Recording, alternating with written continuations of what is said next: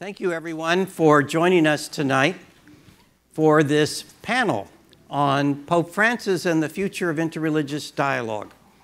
Welcome to Georgetown University. I'm John Borelli. I'm in the president's office with the special role of promoting dialogue and Catholic identity. And um, we've been having a conference with a number of people, about 50 of us, discussing future directions for interreligious dialogue.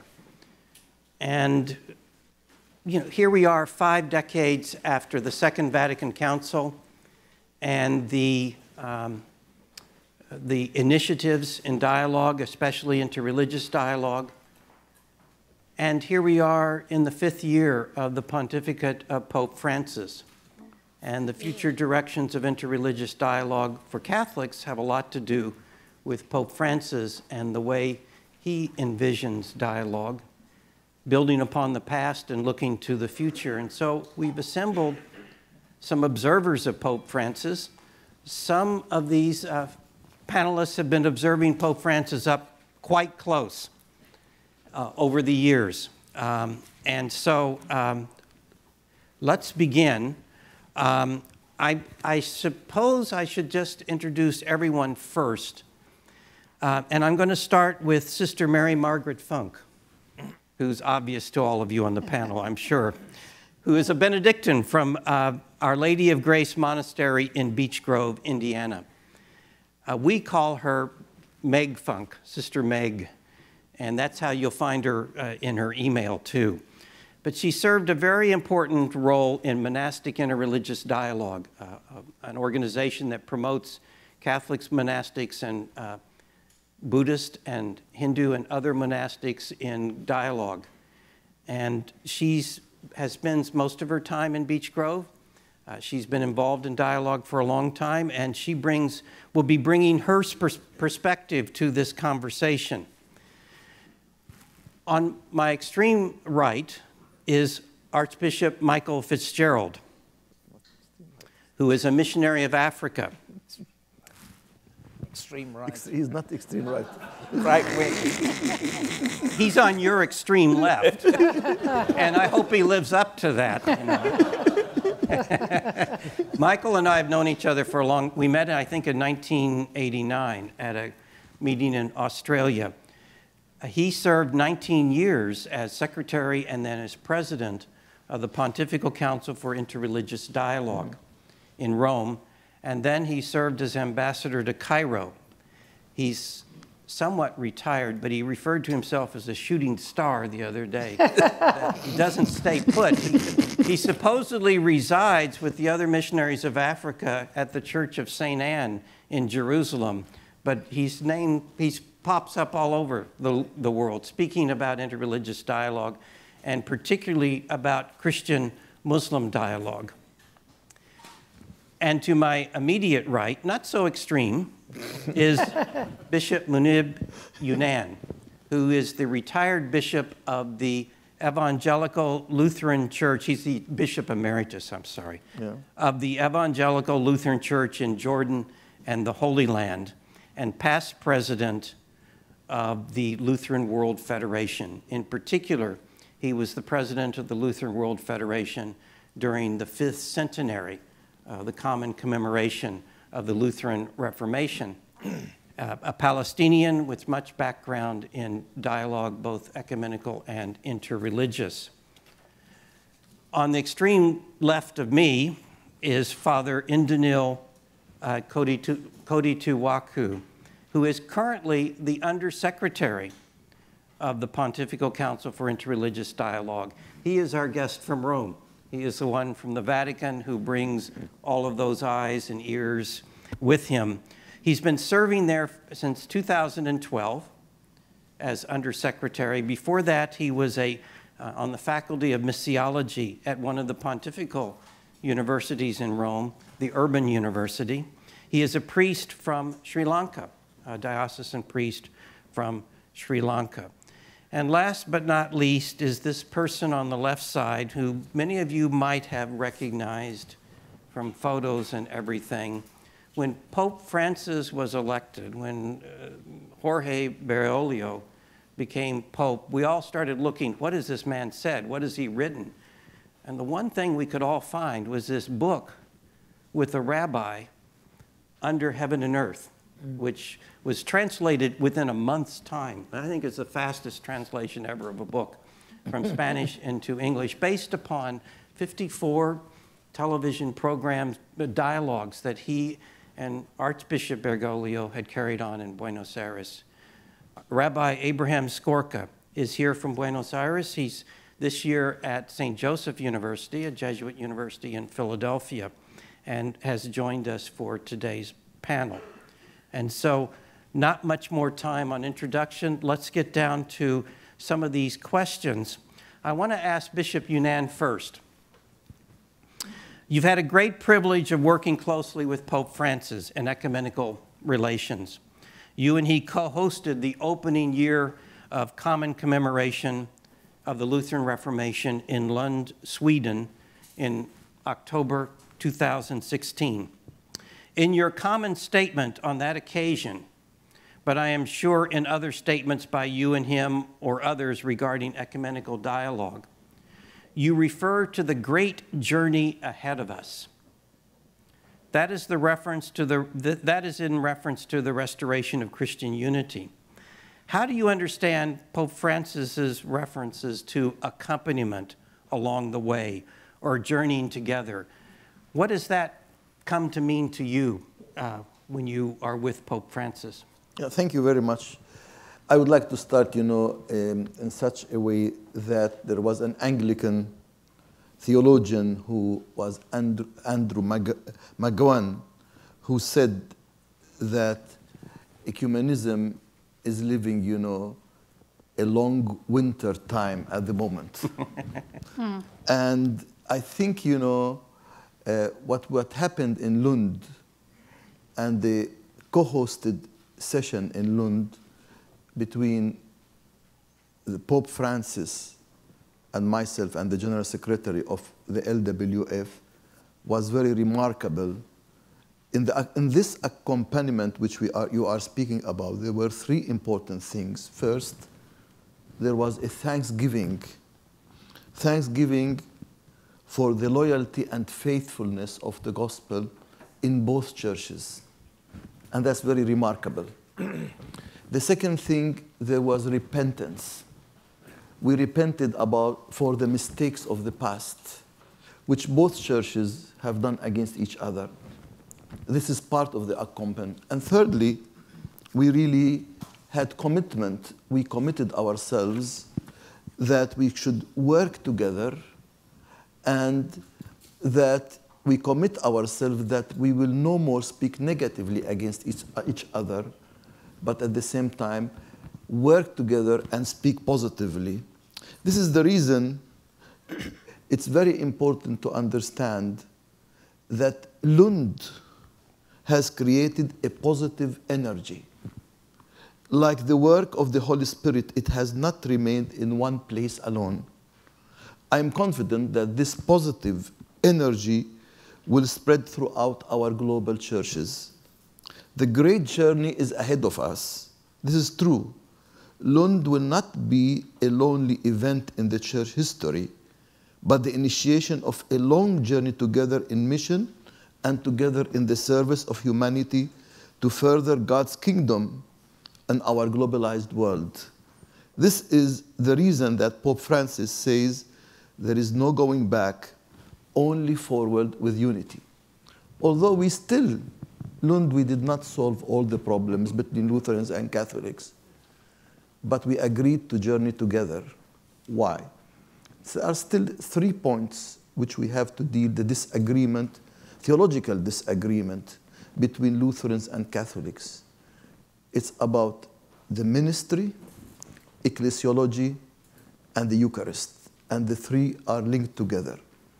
But I want to tell you what are the positive things. I want to tell you three things that are positive from Lund, which, which gives you the, un, uh, the understanding of accompaniment. First of all, the joint docu document from conflict to communion has again reminded us that the holy sacrament of baptism unites all Christians, not only Lutherans and Catholics. And holy baptism engrafts us in the one body of Jesus Christ. Always Pope Francis emphasizes on this. Once you are engrafted, then you are sisters and brothers in Christ. Then you are called for inclusive mission, including prophetic diaconia. This can only be done together, but not separately. This is the reason we dare together to be together in this great journey as baptized sisters and brothers in the one Christ. Secondly, Lund cannot be understood without Malmö. From the, from the co hosted joint service, we continued our joint co hosted meeting in Malmö. There, we committed ourselves to jointly address the common challenging facing all of humanity. There, we addressed the issues of Burundi, India, Colombia, and Sudan, along with the issue of Syrian Christians. We prayed together. From this foundation, we committed ourselves to the work of alleviating human suffering, of being a common voice for the voiceless, for the voiceless in the world of injustice, oppression, and growing hatred. In Malmö, mission and diaconia were understood as faces of the same coin. Caritas International and LWF World Service signed a memorandum of understanding to collaborate together in the fields of emergency, relief, and development wherever we can do it together. Such cooperation and collaboration are a visible sign of our unity, but also of our great journey together to be living witnesses whether we are, whether, wherever we are called to serve. And thirdly, finally, Dr. Muhammad Sammak, many of us know him, is my girlfriend, my close friend, Secretary General of the Christian Muslim Committee of Dialogue in Lebanon, has offered several comments on the Catholic Lutheran reconciliation in Lund and Malmö. Sammak said, the task of the Muslims today is to defend and purify the Sunni and Shia, uh, uh, to, to, to, sorry, purify our faith from the criminal exploitation of jihadists. He also suggested that Sunni and Shia Muslim must learn from the positive energy of Lund to explore reconciliation between their communities as well. This positive energy of Lund will create energy and trust, not, only, not just among Lutherans and Catholics, but among other Christian denominations and for interfaith dialogue. When the world sees our visible unity in a reconciled diversity, then we are truly living witnesses to our Lord and Savior Jesus Christ. As Jesus said in his high priestly prayer, that they may be one, as you and the Father in me and I am in you, you, they, you may they be in us, so that the world may believe that you have sent me. I assure you today that the Holy Spirit has guided us to an ecumenical spring. We are now in an ecumenical spring. It's now up to us to harvest the fruits of unity and accompany each other. Martin Luther once said, Here I stand Today, as a Lutheran, with the Catholics and others, we say, here we journey together as living witnesses in our broken world so that the world may believe. Thank you very much, Bishop Younan, for making this connection between ecumenical relations for Christian unity and these last two points, connecting to interreligious dialogue, that the, the close connection that you live in your life uh, as a Lutheran bishop in Palestine and, um, and, and your work in ecumenically. Um, Rabbi Abraham Skorka, you probably know Pope Francis better than anyone else. I think your cell phone's still on speed dial with his, is that right? Yeah. Yeah, yeah, I think so. I need an opinion from a rabbi, so he, the Pope calls his, his friend.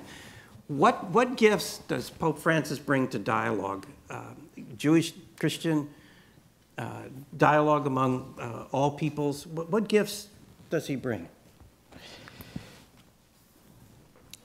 The concept of dialogue is a, a, concept that was installed, let's say so, with a translation, a translation from Spanish. You know, when, when Pope uh, Francis uh, speaks in Italian, he invents words. so, so we are very, we are really befriended. So I use the same, the same custom to invent word uh, expressions. Um, the, the concept of dialogue uh, since Nostra Aetate uh, became something uh, very special. Um, we, especially after the Second World War, when people realized the tremendous uh, and the, the hor- horrible things occurred during the war, everything what happened, the Shoah in the middle, is where a lot of people that uh, were shocked from all of that and began working even before uh, Nostra Aetate, began working, uh, for instance, in Argentina, in certain places in Argentina, rabbis and priests began working the theme of dialogue. And since then, uh, Nostra Aetate uh, and the Second Vatican Council, with all, not only with, with Nostra Aetate, but with all the documents emanated from, the, uh, from this uh, council, uh, emphasizes that we must enter into the world of a dialogue in order not to repeat uh, situations as uh, humanity passed during the Second World War. Now, uh, what is the special point in Francis, Pope Francis' conception of dialogue. Uh, for him, dialogue is not merely a, let us come together. It's very important. This is the first step. But he is a person, uh, I would say, an accelerated person. When he gets arrives to sign point, immediately he is thinking about the second point. I remember in our beginnings, okay, we shared uh, all kind of uh, activities, of dialogical activities, Christian, Jewish. But uh, we used to sit, when he was the Archbishop of Buenos Aires, and to look each to the other, and uh, each ask the other, okay, what is going to be our next step? And I will give you some, uh, some examples in order, maybe that you know already uh, those example, these examples, uh, and through them you are going to understand the deep sense of dialogue for Pope Francis. Um, when two journalists from Argentina finish uh, to write the book, the authorized biography of Francis, and they ask them, okay, uh, who would you like to be the person uh to write the forward? He said immediately, Rabbi Skorka, when uh, one of these uh, journalists uh, called me by phone and told me, okay, we finished the book, this and this, in two days more, we need you forward because uh, this is the decision, this is the desire of uh, the Archbishop. Really, I remained totally astonished. Imagine yourself. Uh, uh, the archbishop of one of the most important Catholic cities in the world. Buenos Aires is very important uh, for several reasons. Uh, an archbishop um, He was then cardinal, and uh, his choice was okay, let my Jewish friend be the one to write the foreword. These are uh, uh, really these kind of things are revealing what is the deep sense, in accordance to my very humble point of view, understanding the, uh, the deep sense of dialogue in, uh, in the, uh, how Pope Francis understands dialogue. To go ahead, to, push, to put yourself in risk for the other, to enter in new, to force new situations, new realities. Um, at some opportunity, I asked him, uh, tell me, how was that that you decided uh, that, uh, that you elected me, that you decided to elect me as the, the one to write the foreword for your special book, the book of your, of, uh, of your life. And he said, such it came out from my heart. This was the exact translation of, of his answer. But not only this, this occurred in the end of 2009. In 2010, we began writing the, the book that you refer to. And afterwards, in 2012, uh, he was the great chancellor of the Pontificia Universidad Católica Argentina, and he was the one uh, who decided to, who decided to bestow on me the title um, uh, doc, Doctor Honoris Causa uh, from this university for my contribution to the culture in Buenos Aires. Mm. These are, a, a, excuse me that I am giving personal examples. That's what we're looking for. That's why we're here. Mm -hmm. Personal examples. But uh, from these examples, you can understand that for, that for him, dialogue, he was the archbishop, mm -hmm. was to fight in order to dissemble structures. How can archbishop fight because it wasn't so easy for him to obtain the, the acceptance of the people in the university to bestow me uh, with, this, with this title. Is um, when we was without a microphone in the middle because he was the one who put me the, the medal and who gave me the, the diploma he said he said to me, you cannot, without the microphone in the middle, he said to me, between us it was, and I'm revealing this to you now, uh, you cannot imagine how long I dreamed with this, with this moment. Mm. For him, in, and I have a lot of other anecdotes. Um, dialogue means a journey. That's true. But a journey without a stop. One, once you arrive to one, eh, eh, eh, once you reach a certain stage, okay, you immediately must begin dreaming about the next, the next step. Thank you very much. Father Indunil. You have the privilege of being able to go over and see the Pope, I guess, whenever you want, right? You just call him up. Oh, and no, no. That's not true. He's causing problems for him. He's been known to call offices in the Vatican, but um,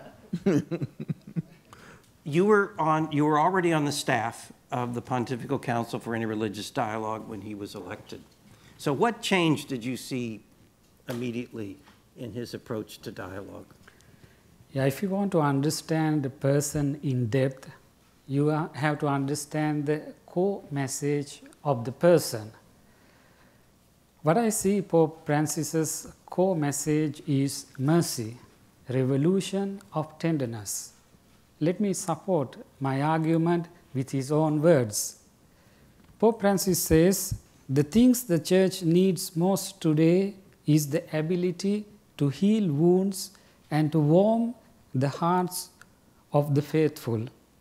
It needs nearness, proximity. I see the church as a field hospital after battle. It is useless to ask a seriously injured person if he has cholesterol and about the level of his blood sugar. You have to heal his wounds. Then we can talk about everything else. Heal the wounds, he repeats, heal the wounds. And you have to start from the ground up. So, according to me, mercy is the basis, the foundation of the vision and mission of Pope Francis. And we Christians, we often uh, speak about Ten Commandments. So I have discovered 10 approaches of Pope Francis to interreligious dialogue. The first is, he says, dialogue is for the common good. Mercy embraces justice. Dialogue is about seeking common good. The second is common good through triple dialogue.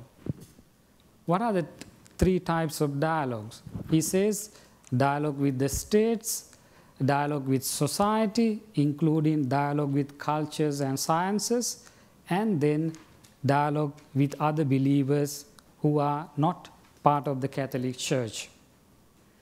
The, ch- the third is dialogue and identity. Dialogue does not water down religious convictions. Pope says dialogue must be built on something, an identity. Then the fourth one is friendship and respect. We all, throughout the day we heard these words. Dialogue and friendship and respect aims at a greater cause. Why we need friendship and respect? The motive is to alleviate the suffering of the humanity. The fourth one is bridging differences through dialogue. Pope Francis invites all Christians and others to build bridges, not walls, to promote peace. The sixth one is dialogue is a two way communication. It involves speaking and listening, giving and receiving, mutual growth and enrichment. And the seventh one is dialogue is a means of conflict revolution. Then the eighth one is be promoters of a culture of encounter because it is an antidote for exclusion and throwaway culture. Then the ninth one is diplomacy of dialogue. Pope Francis always calls for dialogue to resolve world crisis, placing the peace of dialogue at the heart of his papal, uh, his papal uh, diplomacy. Then the last one is prayer and dialogue. Pope Francis also invites the followers of other religions to pray and work together for peace. So, what I have heard from the testimonies of other followers of other religions, I think it is worth also sharing here before come to the conclusion. I have heard people say we draw great inspiration from his leadership and his encouragement to walk together on the road of profound spiritual dialogue. Some say again, I could see the sincerity and love in his eyes as he offered words of encouragement to all of us as we came together in unity. Setting the tone of humility and simplicity, Pope greets us one by one, greets us all. He walked towards us to greet uh, he walked towards uh, us to greet us individually. We need moral authority like Pope Francis. The conclusion is The approach of Pope Francis to dialogue, particularly to interreligious dialogue, is an ethical call to heal the wounded people, often abused by various types of ideology economic, political, pseudo religious, cultural, and with the people to recreate entire societies on the basis of inclusion and participation.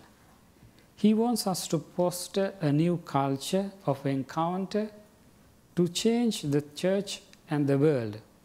Therefore, we can say dialogue of mercy paves the way for dialogue of action, and dialogue of action leads to dialogue of hope.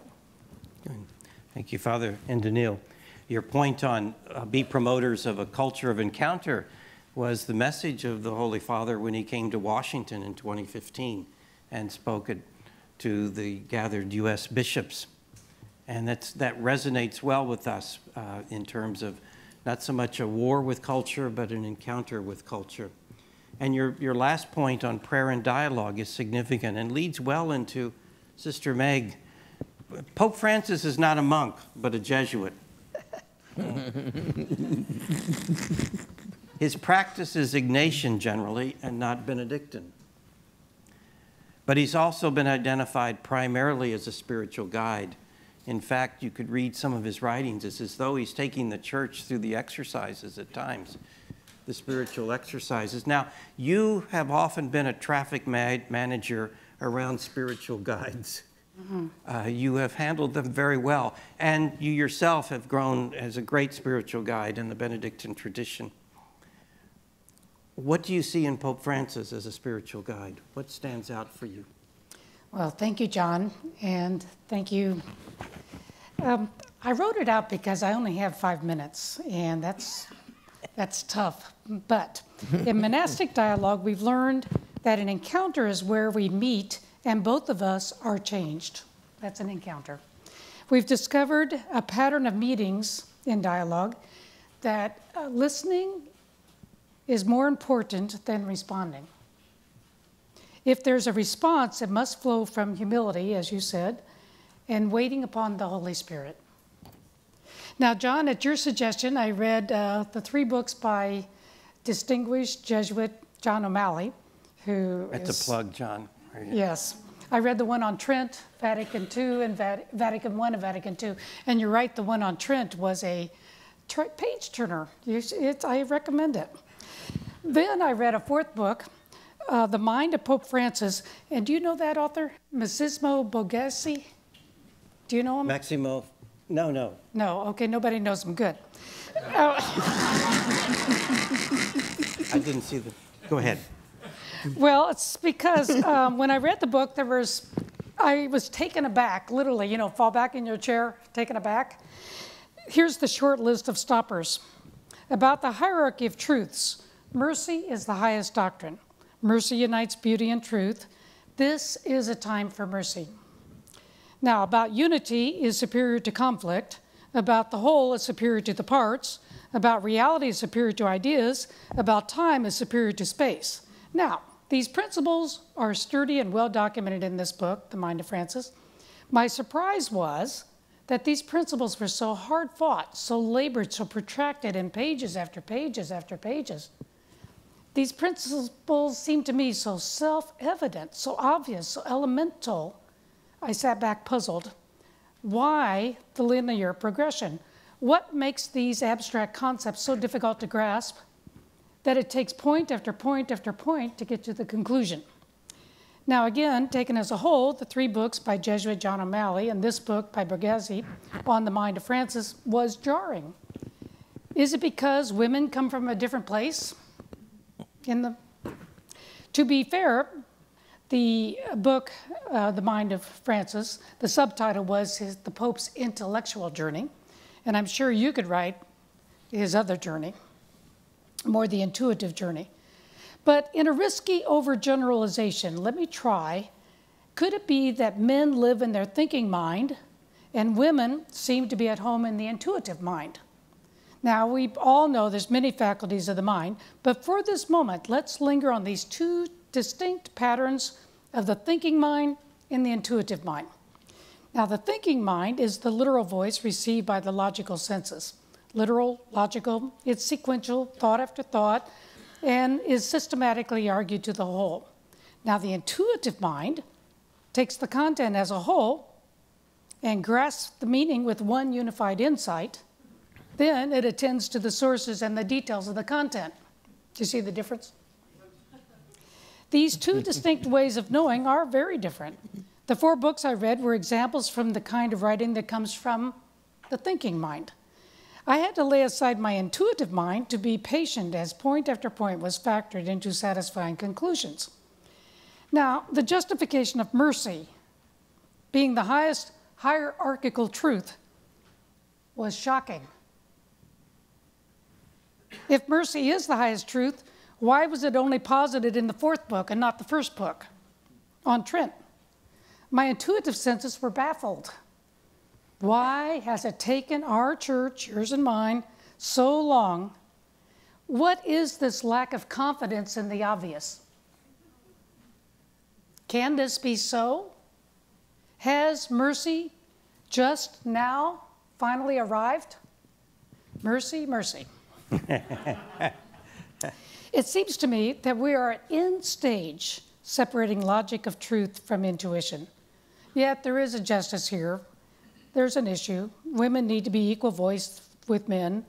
This needs no further research. Um, there should be more women at the conference, but that's not the most important point I want to make my few minutes before you. I don't think that there is a difference between a man and a woman as in gender in the mind. Both sexes have the capacity for logical thinking and intuitive knowing. We monastics can witness to the gender consciousness that needs to be transcended. My Hindu and Buddhist friends here would have much more to teach about that. In the monastic way of life, we find that gender does not determine consciousness. We learn from the transgender persons or the specialists in our medical community that gender is a continuum and even a both and. Mm. So then, what's my point? What is the way forward? John, do you regret inviting me? Um, I knew you would be a fox among hens, so to speak, to reverse the thing here. Okay, okay. No, no, no, no. I'm here because of John. Um, what springs up is, oh, let's see, let's see. It is obvious that the logical thinking and intuitive ways of knowing are both necessary. Both training today favors most of the training today favors the thinking mind.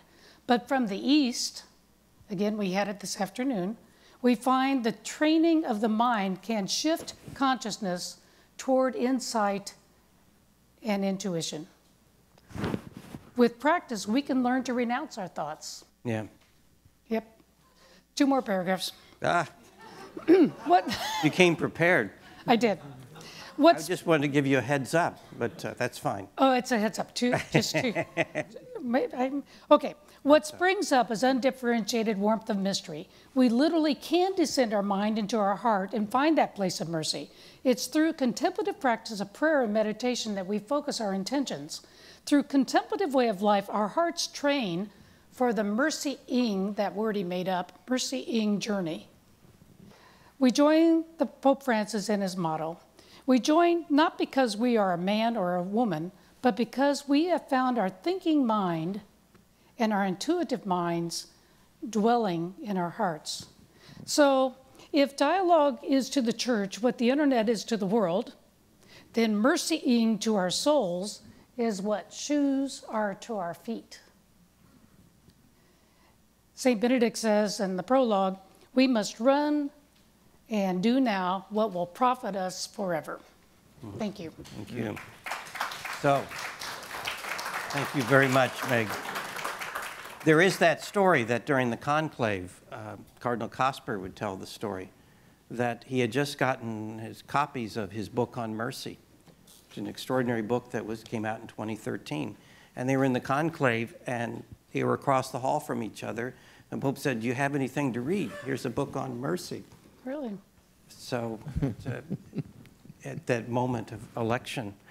Um, so, Archbishop Michael, you guided interreligious dialogue as president of the Pontifical Council, and you did all the work of organizing and directing it as the secretary in the 19 years, I think, in all. What change did you see in the approach to interreligious dialogue from Pope Francis, from your past experiences? No, no change. Next question. Well, in the sense that there is, I think, a continuity, and that is what was given by the Vatican II, and particularly Nostra Aetate. Mm-hmm. All the popes, John the 23rd started it, Paul the Sixth concluded, and, and the first years, and uh, John, John Paul II, Benedict, they all wanted to implement Nostra Aetate. What I do find different in, particularly maybe a difference between Francis and Pope Benedict, is the insistence of Francis on the peripheries. And we see that when, of course, he, he wants to go off to, well, to Korea, he would like to go to Iraq. Uh, uh, Bishop Younan was telling me that he didn't particularly want to go to Germany because he said there are other countries that need me more. Bangladesh. But the peripheries for Francis are not only those places that are far away, but they're those that are near to us. And we see uh, his concern for the, the poor and the homeless in Rome.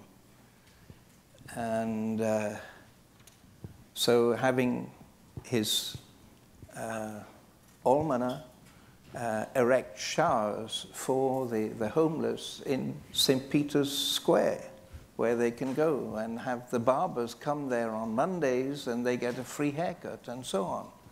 These are very practical things. Now, I think we can apply that, this idea of peripheries, also to interreligious dialogue.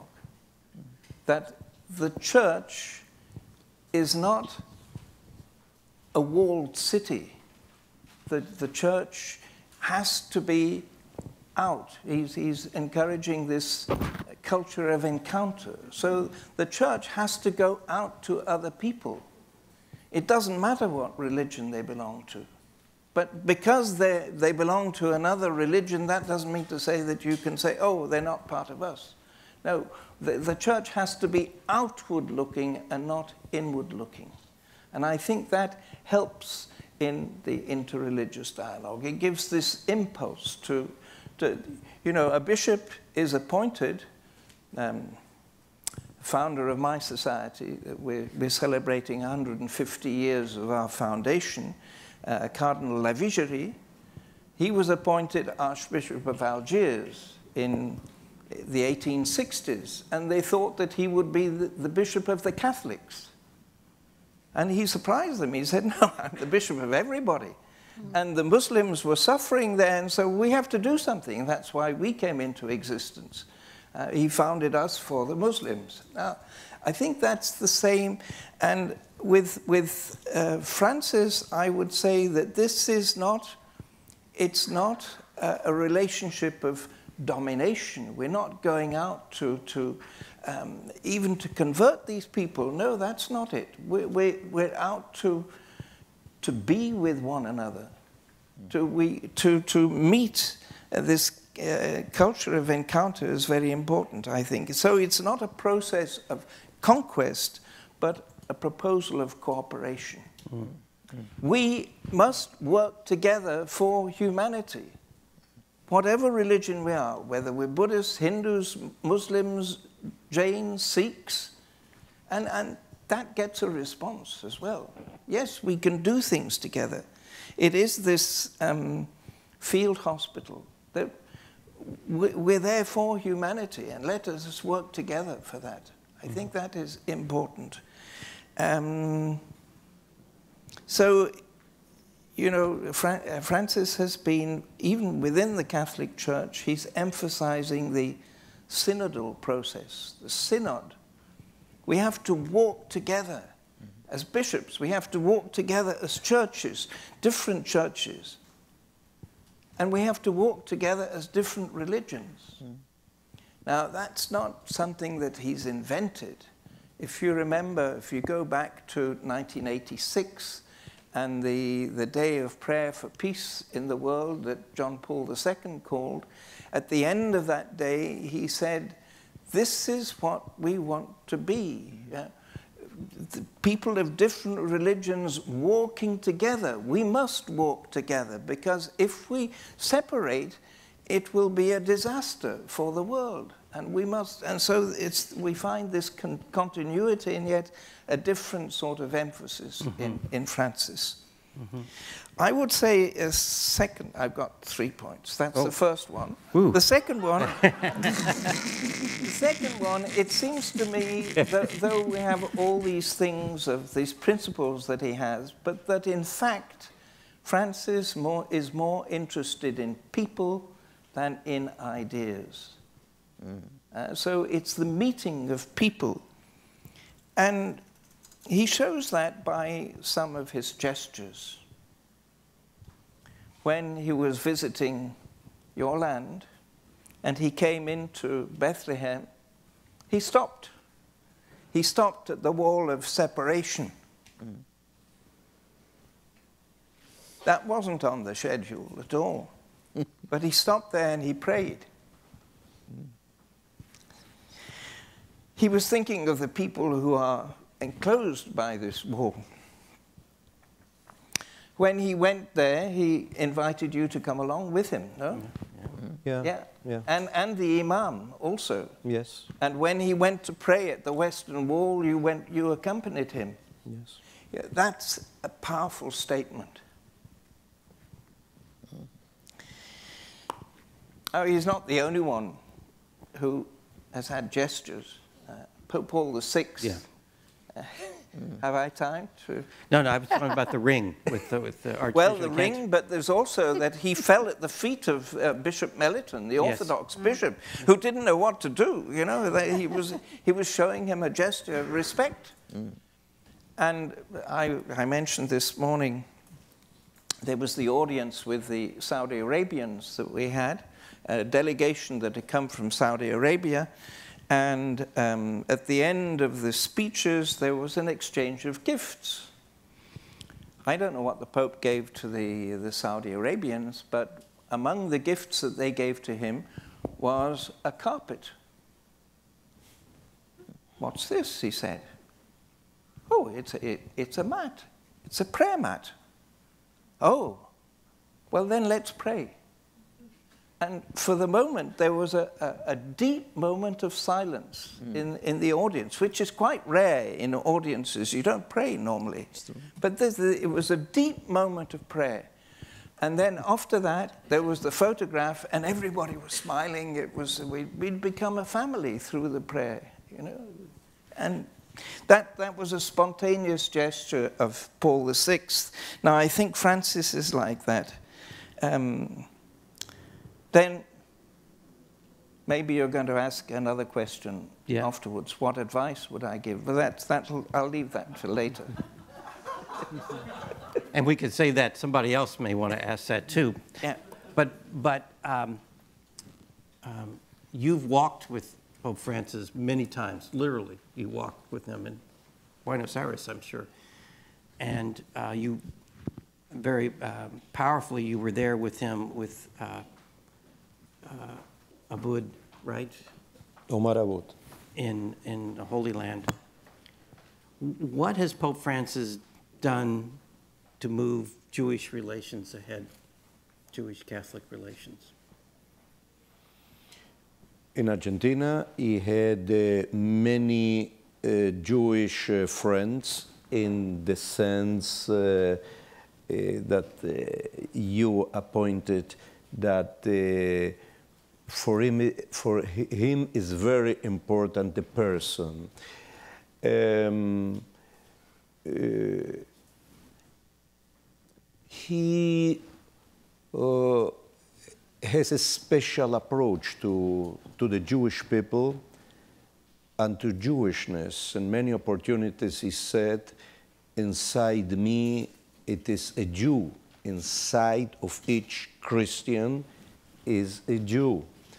He, um, for instance, he responded to all, I'm speaking now when he was Archbishop in Buenos Aires, he responded to all the, uh, the invitations, special invitations that different institu institutions um, invited him. I invited him twice to come to our special religious service of preparation for our uh, great holidays yeah, that, that we uh, have in these days. And he came uh, twice and he delivered uh, special messages. And I will tell you what, how is the degree of his humility. The day before that he uh, came to, to the synagogue, to our uh, Beta Knesset, two days before, he sent, uh, he sent to me the speech that he is going to deliver, asking me if you have to correct something, please do that. Mm. He is a, a sincere, a humble, a, a, sincere person with a great humility. Many opportunities I spoke with him. Frankly, he respected what you said about the, the respect that or, or you stressed the point of the respect of the other is it's really a reality in him. Uh, what he did for, uh, for Judaism, he enhanced the dialogue with all the Jewish, uh, uh, the Jewish institutions, main institutions in the world. He became really deeply befriended with uh, President Peres. Um, the, the pilgrimage to the Holy Land uh, in some way began when I told to him, uh, look, the President Peres knew that we are very befriended. So, and for Peres and for him were a special chemistry between them. I don't know if this is uh, English, this I'm translating from Spanish. Uh, the, one understood immediately the other in some uh, some, each one of them felt, oh, I, I recognize some of, uh, of myself in the other. Mm. Is uh, when the cabinet of Peres uh, knew about our friendship, is they communicated with me. I told them, okay, send me a, a letter from Peres, and I will present this letter with the invitation of Peres to me and to him in order to begin speaking uh, about Peres' wish. And what was the wish of Peres? I would like to receive you all the time that I am the president of Israel. And, uh, and the, um, so we began working uh, this theme and we began dreaming about the hug, yeah, the embracement of the three, oh, the three of us. We were uh, friends from Argentina, and uh, I told to him, look, this is going to, to be a very impressive image for the world. Uh, it, it will be a tremendous image for Jews and for Christians that we are embracing one the other showing that a new era begins. that all the clashes that we have as Jews and as Christians in the past uh, are part of our history. That, but that we decided with all our spiritual power to overcome all that and to begin a new era. And of course, that uh, our good friend, our good Muslim friend from Argentina was the third, like brothers, uh, like, like real brothers. You know, uh, now we are not so much in contact by phone, but, but by, by emails. The last email from him I received uh, last Friday. And the, how was the beginning? How, how one writes to the other?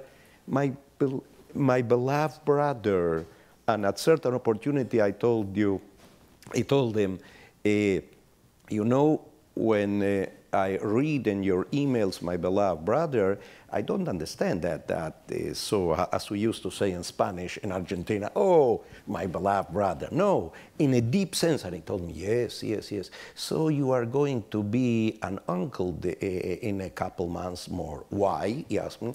Because my daughter in law is pregnant. Hmm. is. Uh, This is, I, I, I am mixing personal things with, uh, with general things uh, in order to describe who the man is. Because beyond the words, uh, beyond uh, the theories, beyond the theology, and this is the, the resume of uh, uh, how I feel my dear brother Jorge Mario, he speaks through attitudes mm. to approaching the poor people sincerely um, through the commitment that he has with mercy for each one. I remember at certain opportunity uh, he told me this. Uh, you know what, what occurred? Uh, for the ceremony of washing the feet is uh, okay. In order to demonstrate my living dialogue with all the religions, uh, it was a Muslim girl uh, between the people uh, that uh, I asked to be there in a jail, I suppose, in Italy, uh, for the ceremony of washing the, the feet. So uh, iris afterwards I received from one side and from one on the other side. From the Christians, the, the very far Christian, let us call the Christians, uh, very uh, the extreme, the, the, the, Christians who are next in an, in an, extreme, in a very right extreme uh, vision of Christianity, they said, what are you doing? They criticized me terribly. And from the other side, the, the, the Muslims, uh, criticized me, it's forbidden to touch a girl. But he did that. And this, is, and this was a, a symbol. This is a symbol. So I saw so many uh, attitudes for him, from him, mm-hmm. uh, towards the other, towards each other who is surrounding him. Uh, in his life. For each one, he has a message. It's, he's uh, very fortunate to have you as a friend, too. I think. Mm-hmm. Yes, we can certainly tell that. Well, the advice question is for you, Bishop Younan. So when you sit down with the Pope and you settle the Lutheran Catholic question, then he says, Am I doing interreligious relations all right? What do I need to do? Okay. First of all, I think, you know, we learn from each other. It's very important when I speak, when I uh, speak with the Pope, I always listen what he wants and we learn from each other in all humility. And the good thing, as it was said, he, he, he likes not only to hear, as Americans say, but to listen. And that's very important. The second point, you see, there was some articles against Pope Francis. It's not everything positive as we are trying in this session. Yeah. Some people, you know, and I've read them, they have accused him that he is going in the prayer in Assisi to form, to create one religion. But this is not true. He answered them in this way, and I've quoted him Our religious tradition are diverse, but our differences are not the cause of conflict and dispute or a cold distance between us. Without syncretism or relativism, we have rather prayed side by side and for each other. You know, the second important thing, we drove together from Lund to Malmö, nearly 45 minutes. We were talking together on politics, on the elections in the United States, uh, on uh, dispensationalists, theologians, on many things. And then we agreed together that no church can do it together and no religion can do it alone. Can do it alone. He said, which he took my hand like this and shook, he said, Bishop Munib, we have really to work together and be a prophetic religion. Because religion should not be the source of the problem, but the source of the solution. And even together we spoke, and I think I would encourage that, what he is saying, what Martin Luther King Jr. has said, that religion must be the guardian and the conscience of the state and politics. Mm-hmm. And when we speak on interfaith dialogue, I think interfaith dialogue must not be wishy-washy, but must really also be the conscience of the state of wrong policies which are done in many states. Mm-hmm. For this reason, you know, uh, um, for, for this reason, Pope Francis, in addition to solving this, has another point that interfaith dialogue must be for building peace based on justice and reconciliation based on forgiveness. And this sentence, which John Paul II has promoted in all prayers, Pope Francis repeats it. Yeah. The third point is, or another point is, interreligious dialogue must address the contemporary conflicts. And he is always, he always was speaking on contemporary conflict, not only of human tragedies and wars, but also on climate change and ecology. He said, we have, we have neglected our world and misused it. Mm-hmm. Another point which is very important, where we discussed together and we have to continue to learn from him, is interfaith dialogue should address extremism. And, you know, eh, when I got yesterday the Bridge Builder Award, I said that religion sometimes is corrupted by extremism. And Pope Francis wrote on the November 3rd, 2016, these words May it ne never happen again that the religions, because of the conduct of some of their followers, convey distorted message out of tune with that of mercy. Mm-hmm. This is the reason interfaith dialogue must also address the hatred which is existing in one in our country, in many countries, like anti-Semitism, Islamophobia, Christianophobia, xenophobia. We cannot keep quiet because all these hatred are the same. Another point which is very important.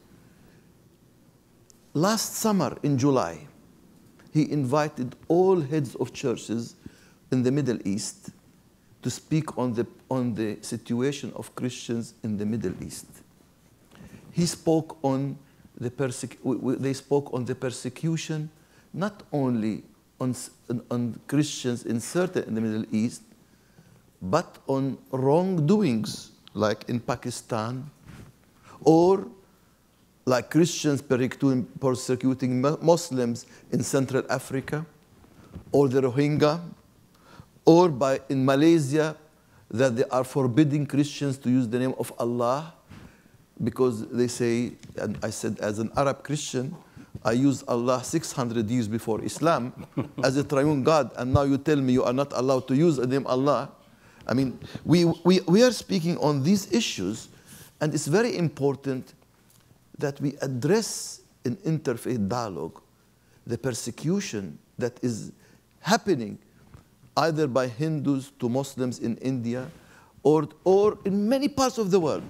If we just speak, you know, about the skies and everything is fine, we are not there. Yeah. And this is the reason the Pope and myself agree. Uh, the advice I would give is one of them is first of all, today we have to speak more on Jerusalem. Is Jerusalem for one religion or is it for three religions and two nations? This is very serious today with the American policy, wrong decisions. The Pope agrees on these issues, and we sp I spoke with him directly. Maybe today also we need more. Maybe Nostra Aetate is 50 years. Maybe we need to update it. and that is very important because it spoke at a certain time in 1965, coming out of the Second World War. Today we are in a different area, with different time, different context. Maybe we have to update it. Hmm. Finally, Pope Francis thinks, and that's very important to understand, that inter-religious dialogue cannot be limited merely to the uh, merely to the few, to the leaders of religious communities, but must be also extend as far as possible to all believers, engaging the different sectors of civil society. Particular attention must be paid to young men and women who are called to build the future of this country. It's always worth remembering, however, that for dialogue to be authentic and effective, it, it presupposes a solid identity. These are his words. Without established identity, dialogue is of no use or even harmful. I say that the, with the young in mind, but applies to everyone. This morning we heard the dialogue is there, there is no reception on the grassroots. The advice to us who are already experienced in dialogue, if we don't involve the youth and the women and the grassroots, the dialogue is good for nothing. Yeah. It's good for the shelves. The last point, which I say, this is the reason I would again say, let us journey together with other religions for the sake of justice, peace, harmony, hatred-free world, and reconciliation. Thank you. Thank you. Let me, let me add. Oh, you add, and we, we also will turn to questions from the audience because uh, we have other questions, but um, I think we want to hear from the audience with your questions.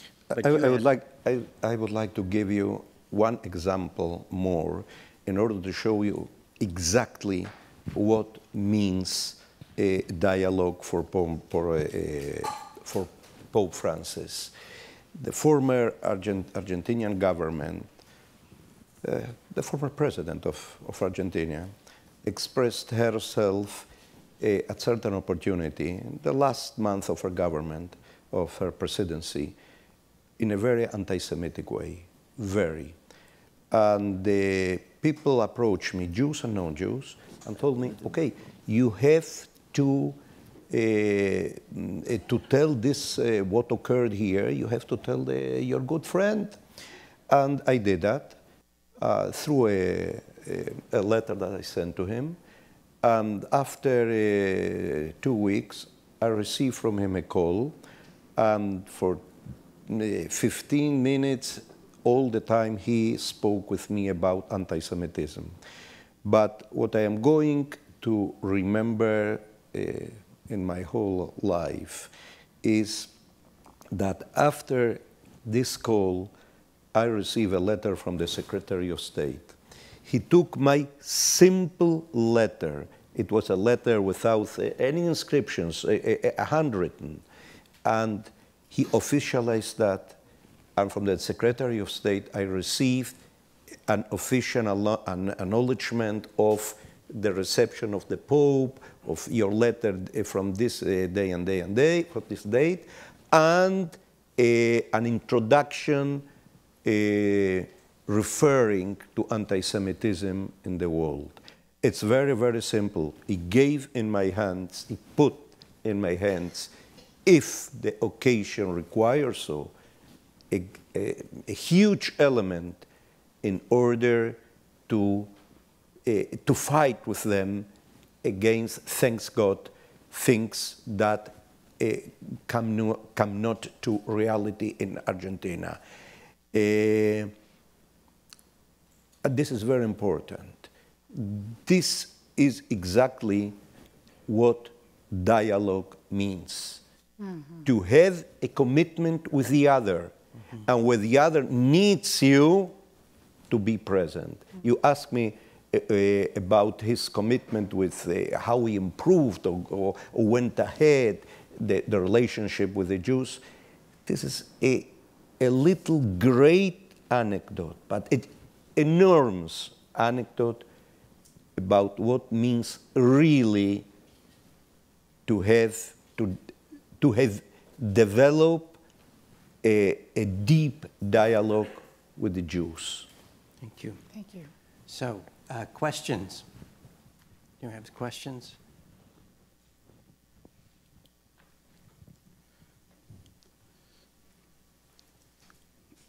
I'm so glad to be here.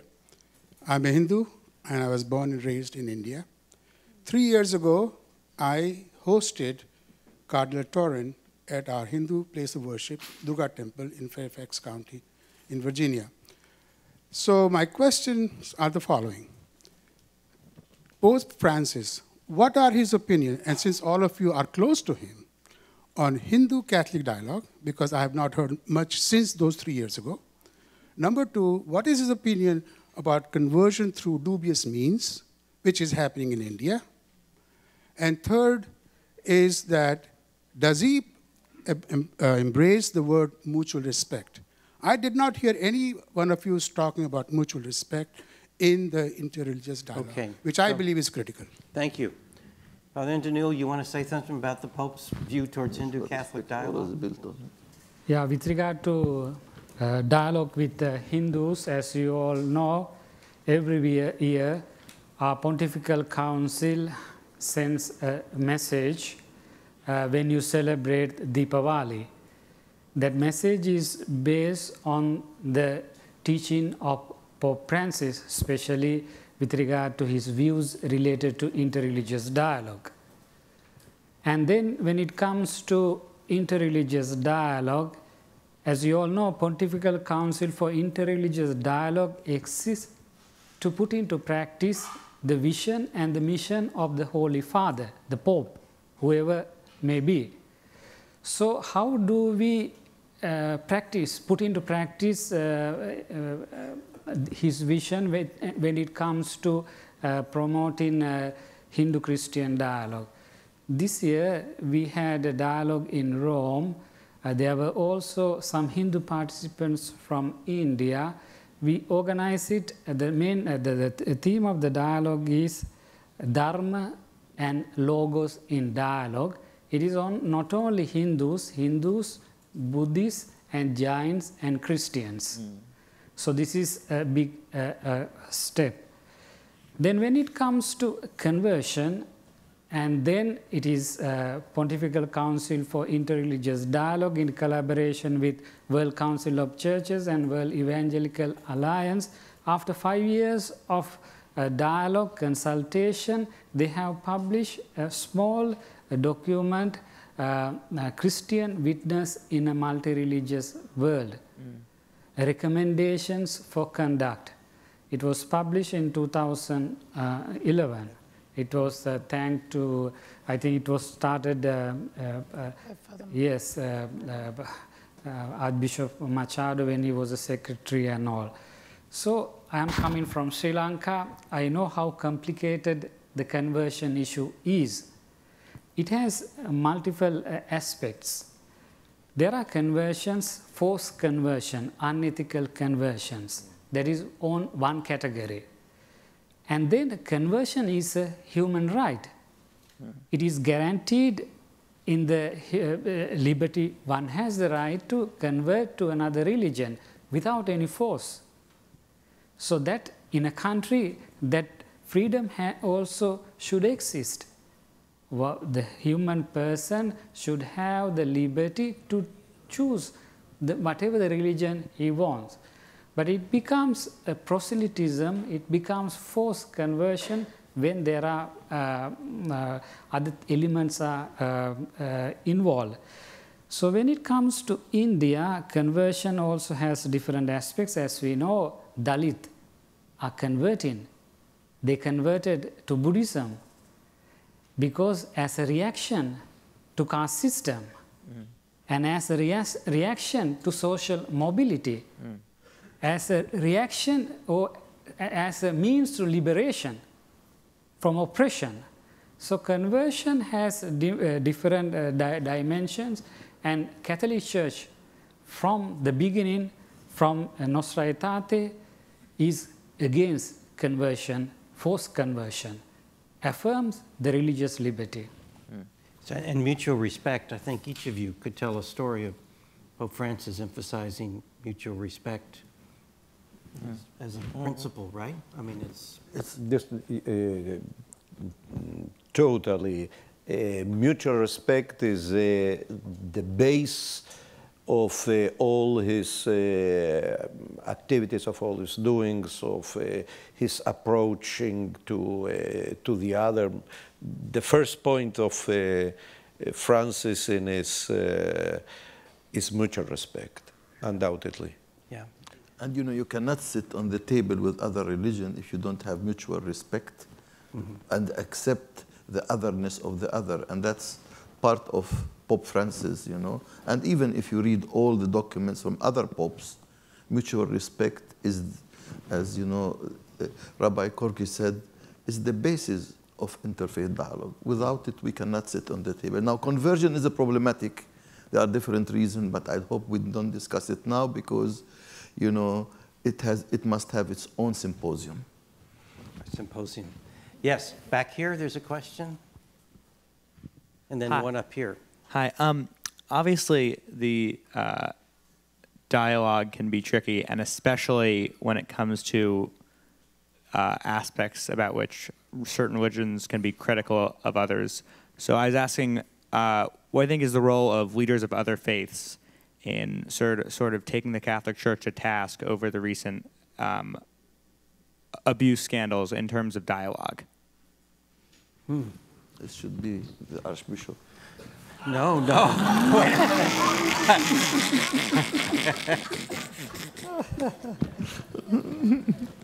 At the moment, I don't think it's the religious leaders who are doing that. It's, it's, it's civil governments whether it be in Australia, whether it be in this country, whether it be elsewhere. It is the, the civil authorities who are saying, well, we're going to investigate, and whatever you say. Now, they also have to show respect for religions. Mm -hmm. um,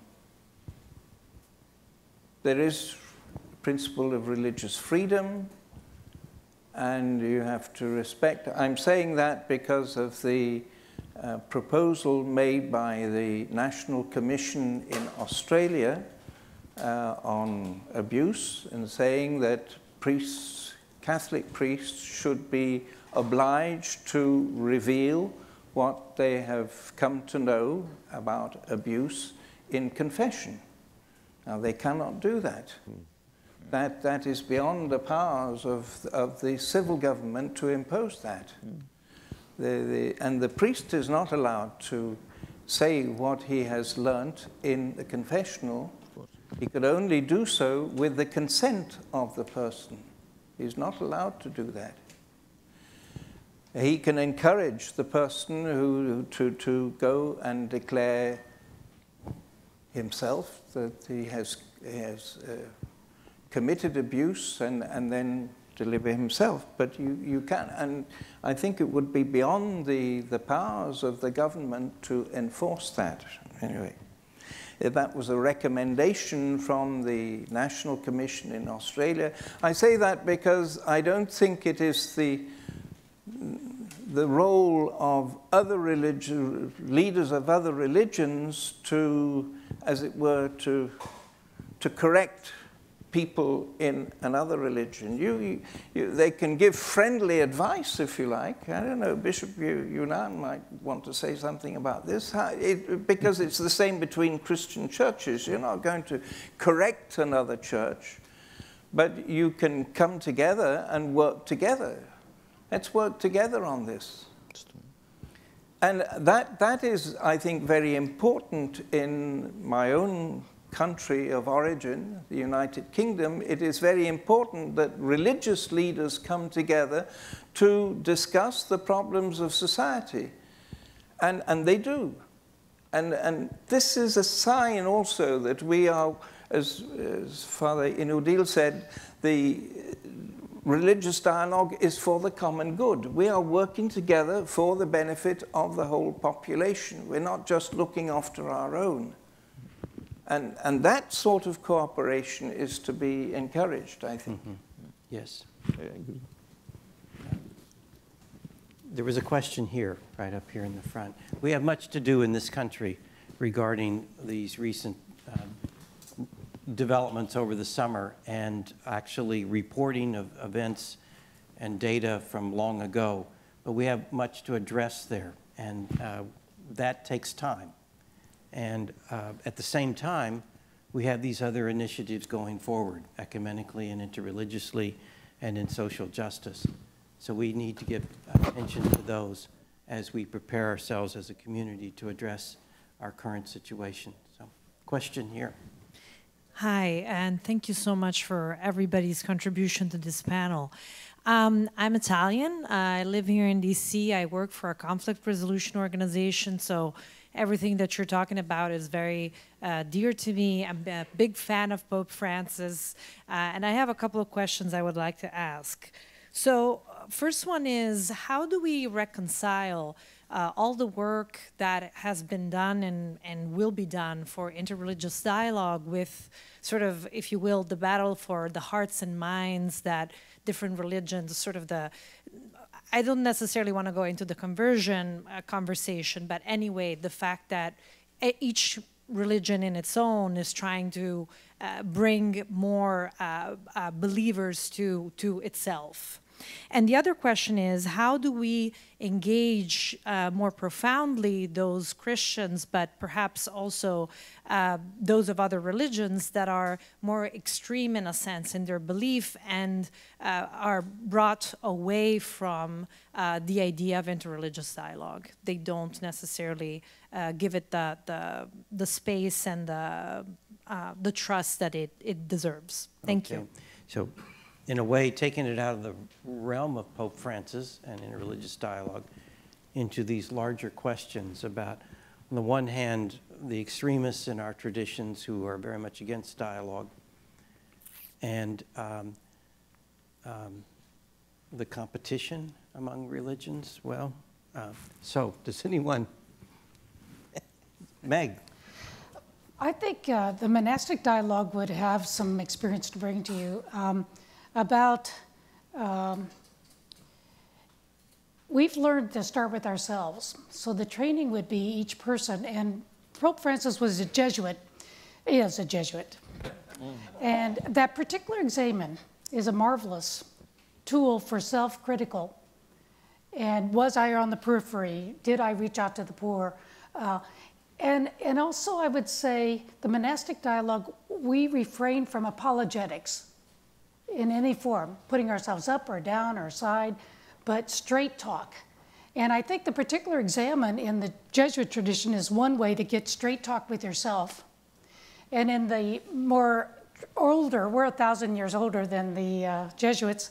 So the desert tradition would be to uh, look at our own consciousness rather than our conscience. So training in conscience is good. That's a Jesuit thing. All to it, everybody. And then training in consciousness is this earlier monastic tradition. And they would answer both of your questions because you wouldn't be putting yourself up and down and and you wouldn't be you would be straight talk listening to what the need of the other is. Thank you.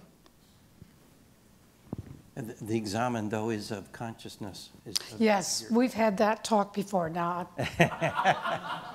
I don't like correcting you or anything. yes, it, it changes consciousness because you do it every day. And, and yes, we've had that conversation. You can tune in for part two if you want. You know, we have to be careful. You know, this question is very, very important. We have to be careful that we don't create battlefield of missionaries in many countries.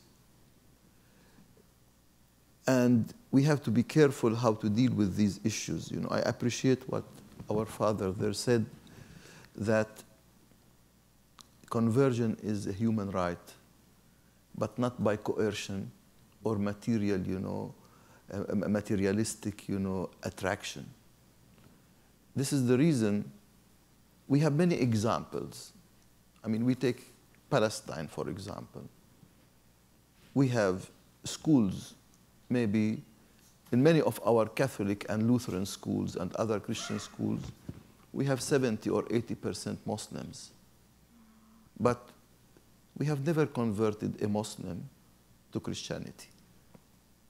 We have really lived our you know, Christian ethos, but we respected and we wanted the Muslim to be a good Muslim in a Christian school. In Galilee, we have schools where we have also Jews, but we want a Jew to be a good Jew in a Christian school. I mean, if you make the country a battlefield among, you know, religions, it's the beginning of chaos and dissension, and it's against the freedom of religion which we are talking about. Yeah. Archbishop Michael. Is the, the second part of the question was about extremism. What, what can you do with this? I think what Pope Francis is trying to do for us, for Catholics and Christians, if they want to listen to Francis, is to teach us to be true Christians. Teach us to be true Christians, and that is to be like Jesus Christ.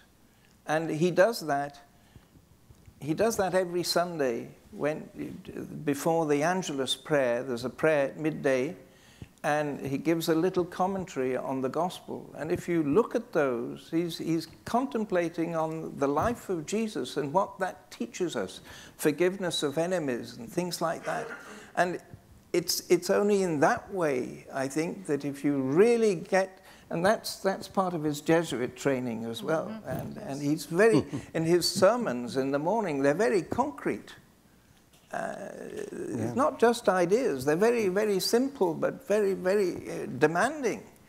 And uh, I think that that's, that's the only way that you, you we have to try to get people to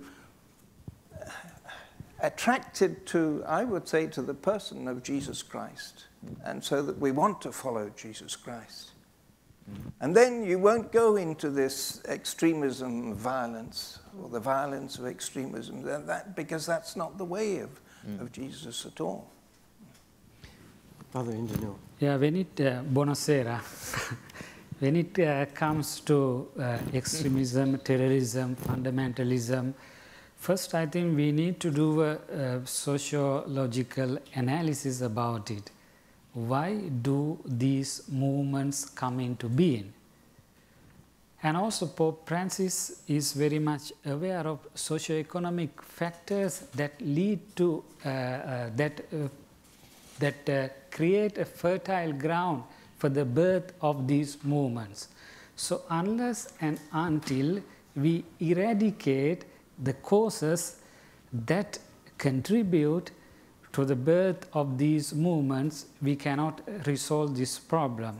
Mm. For example, when he made the uh, popular movements, he says, uh, placing the economy at the service of people, working for peace and justice, and defending Mother Earth. Then the second question, uh, the, uh, the, then I also, also want to refer uh, some of the views our late Cardinal uh, Tauran, with all respect, when he visited a historic visit to Saudi Arabia. I will read it, that will really enrich our discussions. In his uh, uh, uh, speech, he mentioned these elements. He said it in Saudi Arabia equal treatment of people of all religions. Mm. Discrimination and double standards only increase Islamophobia and Christianophobia. Mm. Religious leaders have a duty to keep religion from being at the service of an ideology. Terrorism is a constant threat, and for that reason, we must be clear and never justify it.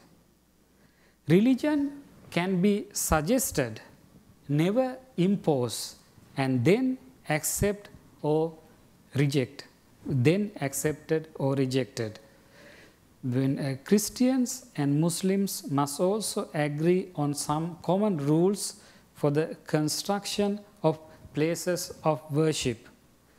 All religions must be treated the same way without discrimination because uh, followers together uh, with uh, um, followers together with citizens um, who do not profess any religion must be treated equally. Full citizenship for everyone. Yeah, thank you very much. It's a good place to end on. Cardinal Tauran, who passed away this summer, who had been leading the Pontifical Council. Um, this is Father Indunil's first visit to Washington, D.C. Uh, all the other panelists have been to this university before at one time or another speaking. Uh, Meg came and did one of my classes for me. That's how much I trusted her. So, um, and I sat and listened. And in November 2013, uh, we invited Rabbi Skorka to come. This was a few months, you know, March is when Pope was elected.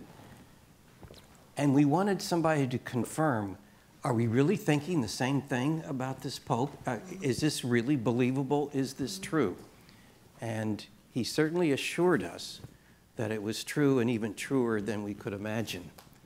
And so I think we could have had a, this program with any one of the five guests here uh, tonight and, it, and had an exciting program on the topic. Thank you all for Thank coming. You. Thanks to our panelists. Thank you very much. And uh, there'll be a little time for you to um, speak to the speakers. Thank you.